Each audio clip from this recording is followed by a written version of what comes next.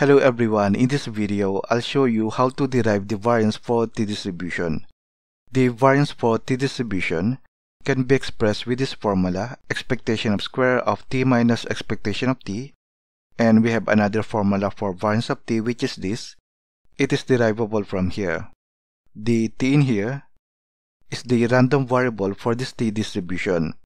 If you watch my video on the derivation of the probability density function or PDF for this t-distribution, you can find on the first part that this t random variable in here can be expressed with this formula. The u and v in here are random variables. This u has a standard normal distribution. This v in here has a chi-square distribution with p degrees of freedom, where the degrees of freedom p in here is a constant. It should be an integer and should be at least 1. The random variables in here u and v are independent to each other.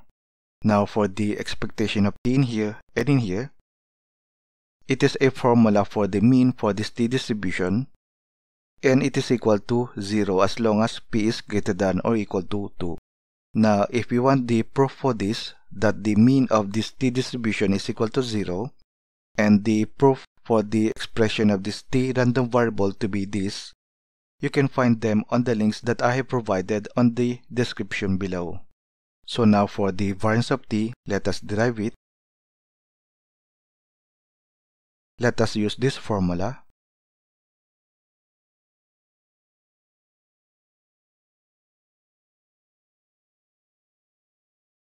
Then since expectation of t is equal to 0, when p is greater than or equal to 2 and we don't have an expectation of t when this condition is not met, then we can cancel it because it is 0 so we have here only expectation of t squared.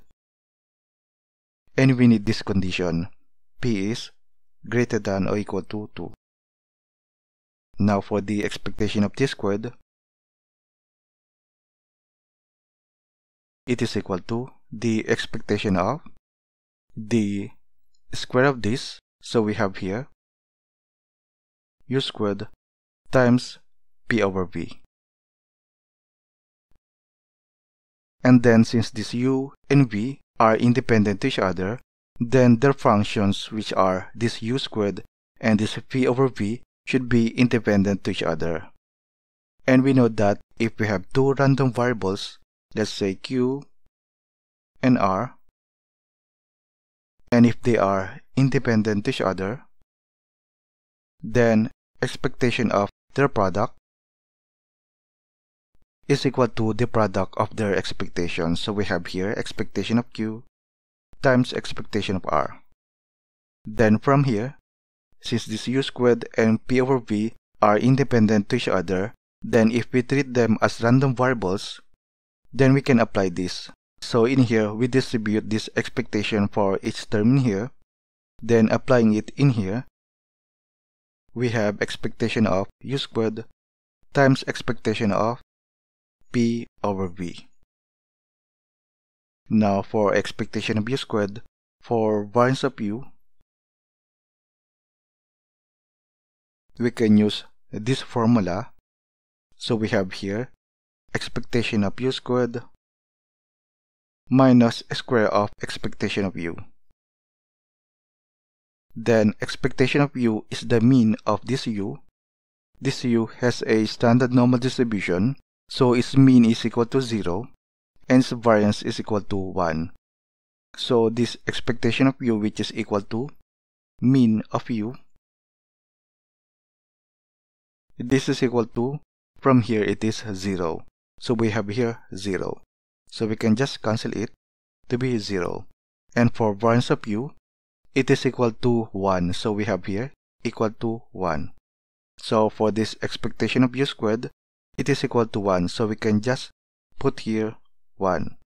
So now our expectation of t squared is equal to this. So we can write here expectation of t squared is equal to expectation of p over v. So now for this, it is equal to integral of p over v times the probability density function for v. And since this v has a chi-square distribution with p degrees of freedom you can find in several references that it is equal to 1 over gamma of is degrees of freedom p and then over 2 then 2 raised to is degrees of freedom which is p and then over 2 and then times the random variable v raised to is degrees of freedom p and then over 2 minus 1 then e raised to negative v over 2 then we have here dv then for the random variable v the range of values for this v random variable in here which has a chi-square distribution is from 0 to infinity so we can put here 0 to infinity. Then we can move out the constants from here. We can move it outside of this integral and then we can combine this v and v in here. So we have here the constants p over gamma of p over 2 2 raised to p over 2 then times the integral of v raised to p over 2 minus 1 minus 1 is v raised to p over 2 minus 2 then e raised to negative v over 2 dv from 0 to infinity. Now to evaluate this, we need to use the gamma function. It is defined as the gamma of alpha, where this alpha is a constant, it is equal to the integral of, let us use the random variable y, then we have here raised to alpha minus 1, then e raised to negative y dy. This is from 0 to infinity. So this is the definition of the gamma function using the variable y. So now from here, if we want to evaluate this using this so that this will become in terms of gamma function, we need to make them similar. So let this y to be equal to v over 2. Let us put here, let y to be equal to this v over 2 and then from here dy is equal to derivative of this which is 1 over 2 dv and then for this y raised to alpha minus 1 so we have here y raised to alpha minus 1 it is equal to this v over 2 raised to alpha minus 1 but we can distribute this alpha minus 1 for each term in here so we have here v raised to alpha minus 1 over 2 raised to alpha minus 1 then let us make this v raised to alpha minus 1 to be similar with this v raised to p over 2 minus 2 by letting this alpha minus 1 equal to this p over 2 minus 2. So we have here, let alpha minus 1 to be equal to p over 2 minus 2.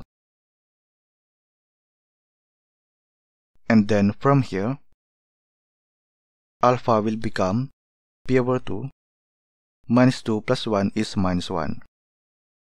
Then substituting this in here, we have gamma of this alpha, which is this.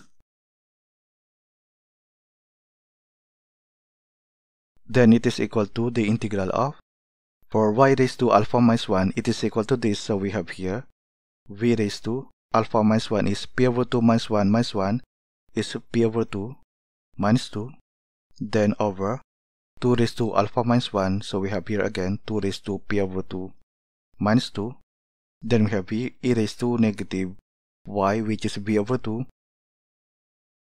and then dy which is this. And then for the limits of this integral from here we can express v as a function of y which is 2y then if y is 0 in here v is 0 so we have here 0 then if y is positive infinity from here 2 times positive infinity is positive infinity so we have here positive infinity. And then for these constants we can combine them. So we have here 1 over 2 raised to p over 2 minus 2 plus 1 is 2 raised to p over 2 minus 1 and then we can move out this constant outside of this integral.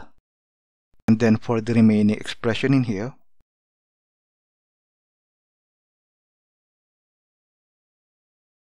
it is equal to this. So this will be this gamma of p over 2 minus 1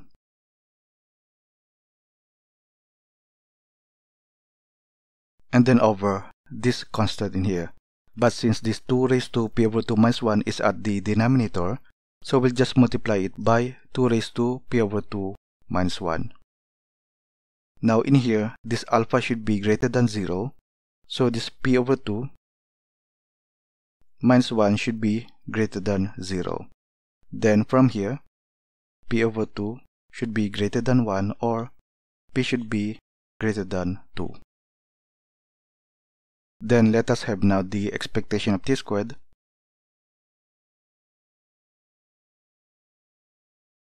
This is equal to this constant in here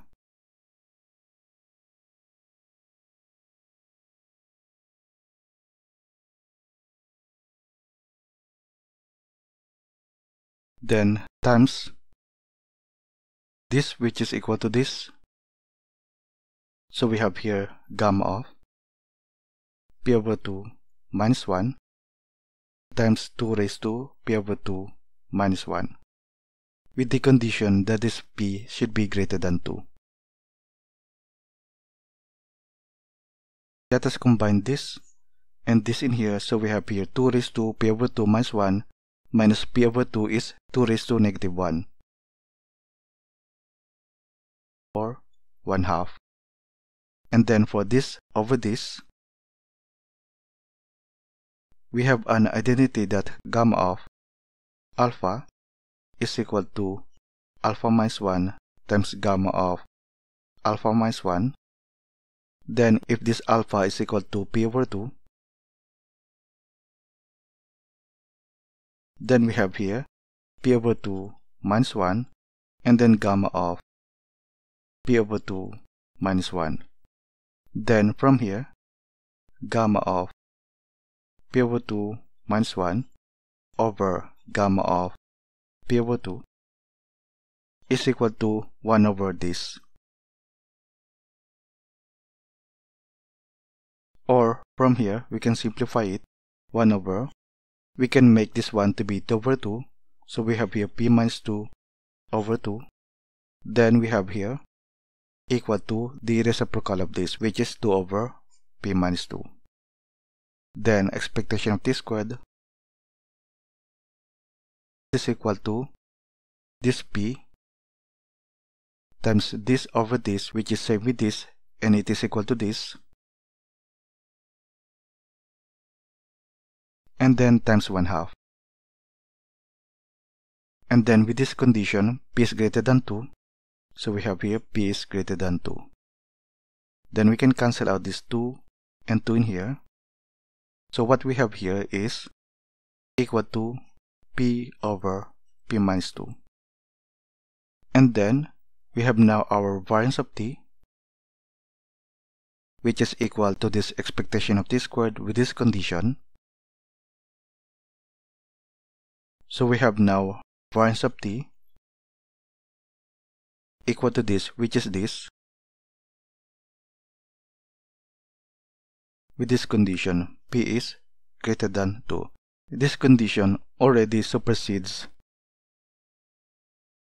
this condition in here. So we can retain just this condition in here. So we have now our variance for the t-distribution. So this ends this video showing how to derive the variance for this t-distribution and I hope you learned a lot from this video and to the next video as well. So thank you for watching and don't forget to subscribe in my channel.